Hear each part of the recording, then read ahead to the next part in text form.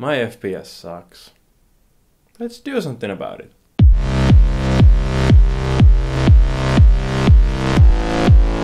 So, I'm playing Fallout 4 here, and my FPS is crap. I got my 4K display, and since then I have wanted to play my games in ultra high definition. It is possible to play the game in ultra high definition with my current graphics card, but the whole game is an eyesore. All the shadows are crap, all the textures are crap, lighting is crap, and the frame rate is crap. It runs a bit smoother if you're not running fraps on the background, but it's still like an eyesore. This is no way to play a game. I think it's time to upgrade my graphics card. So, today we'll be slapping this thing into the computer and see what happens.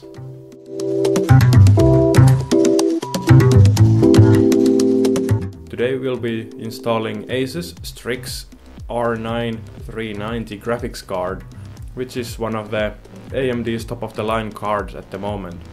The card comes in at a pretty attractive 350-ish euro price point and it's semi-affordable for serious gamer.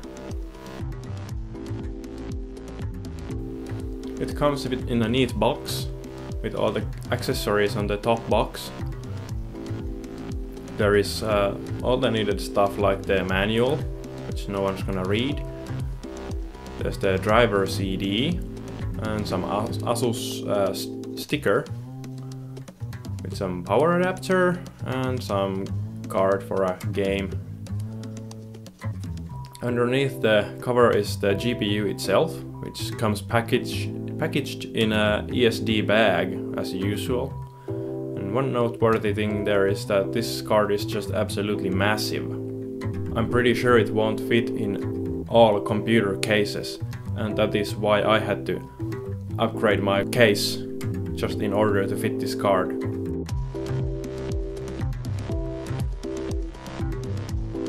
Card has a 3 fan huge cooler with 10mm heat pipes that carry the heat from the GPU core to the aluminum fins.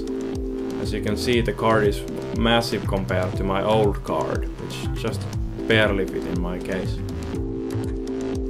The 390 has a nice aluminum backplate with the printed owl logo on it.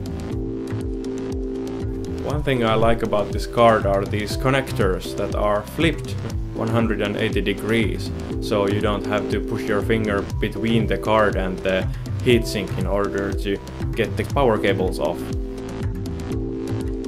Card also includes some status LEDs for the power connectors and one decorative LED screen on the side. On the same go we're gonna slap some LED fans into the case. I chose red color because that's the theme of my build.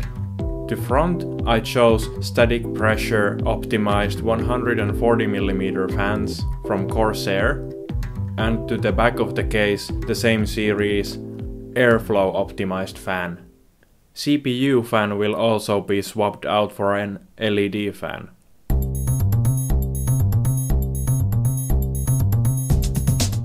So, the first thing to do when tinkering with electronics is to turn off the power. Don't go poking in there while the computer is still running. Like seriously. First thing to do is take off the side panel of the case. Mine just has a quick latch mechanism so I can just yank it out. Then I located the fan connector and disconnected the front fans.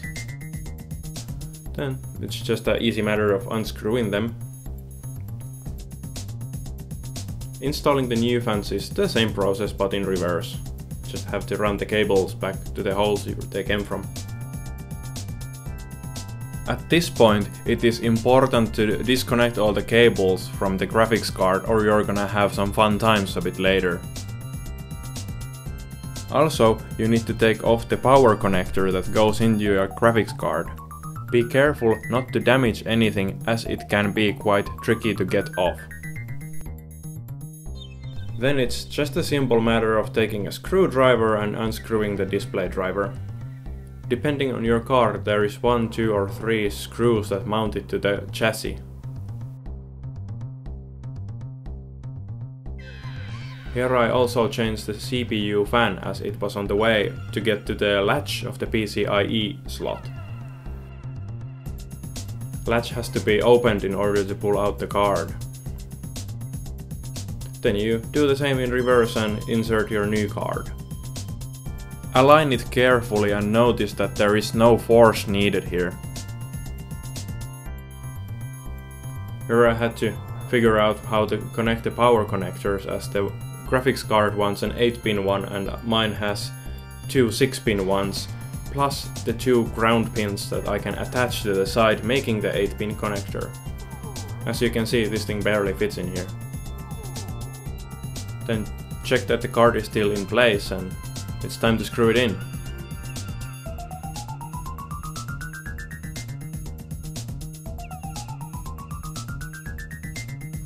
Off camera, I installed the new LED fan to the CPU mounts and here I'm installing it to the heatsink. It's just a matter of clicking the fan mounts in place and poking the connector into the motherboard CPU header. Here the airflow optimized fan appeared to the back of the case.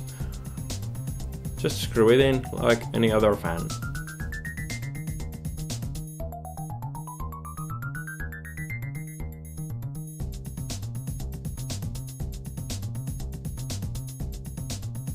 Now you're pretty much done. Now what's left to do is see whether it runs.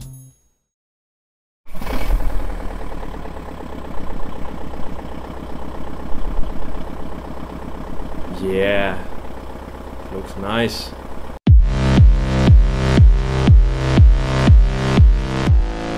The graphics card itself has a funky LED light with the Strix logo.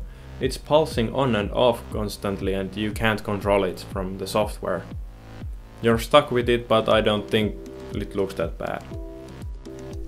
Here the fans are only case illumination that is on, except for the graphics card and the small LED display on the motherboard. It fills the case with nice red light, without any additional LED lights.